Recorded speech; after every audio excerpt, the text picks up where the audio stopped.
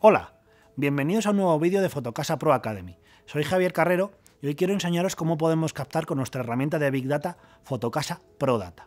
Te recordamos que si quieres estar al día de vídeos como este, no te olvides de suscribirte a nuestro canal y darle a me gusta si este vídeo te ha parecido interesante. A la hora de la captación, solemos invertir bastante tiempo en la parte de prospección para encontrar principalmente a esos particulares que publican en portales inmobiliarios por su cuenta y nosotros queremos ofrecerle los servicios de nuestra inmobiliaria para incorporar esos inmuebles a nuestra cartera. Pero, ¿y si os digo que con Fotocasa Prodata te puedes ahorrar tiempo en esa acción y ser mucho más efectivo? Pues vamos a ver cómo os puedo ahorrar tiempo, dinero y que seáis más efectivos a la hora de captar.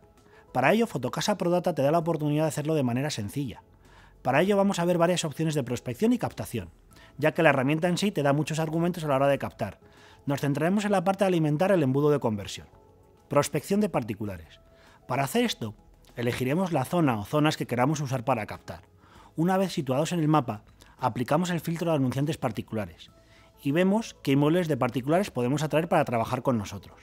Podemos ver toda la información del inmueble en el listado, pero sobre todo hay que fijarse bien en los datos de días que lleva publicado y los datos de cuántos contactos de promedio están teniendo en el último mes. De esta manera podemos ver si es un inmueble que lleva mucho tiempo publicado y apenas tiene contactos, o al revés. Lleva poco tiempo publicado y está teniendo muchos contactos. También es importante ver el precio de publicación, ya que nos dará una idea de en qué rango está dentro de los que existen en el mercado. Como podemos acceder a su anuncio directamente, podremos contactar con el anunciante particular para poder ofrecerle nuestros servicios. Vamos a ver un ejemplo. Tenemos un inmueble de un particular que lleva publicado 103 días y está teniendo un promedio de cero contactos. Esto significa que apenas está teniendo contactos.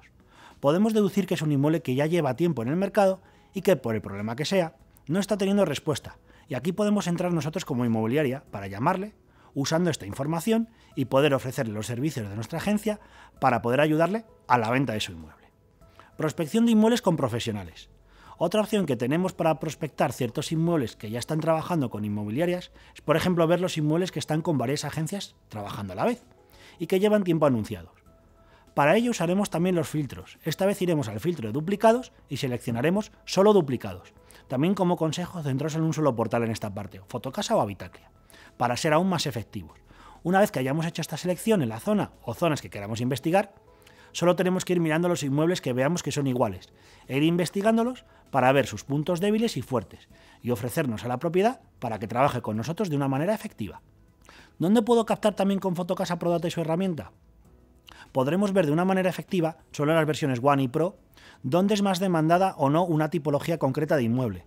Podremos incluso verlo al nivel de casi calle o manzana. Para ello, como siempre, buscamos la zona que queremos analizar, ya sea por el mapa o el buscador, y nos vamos a la pestaña de captómetro. Allí veremos una escala con una aguja, que marca la demanda de lo que estamos viendo. Para poder hacer el análisis que os comentaba antes, solo tenemos que filtrar el tipo de inmueble que queremos analizar. Elegimos el número de habitaciones, baños, extras que tenga y vamos moviéndonos por el mapa fijándonos en la aguja de la demanda.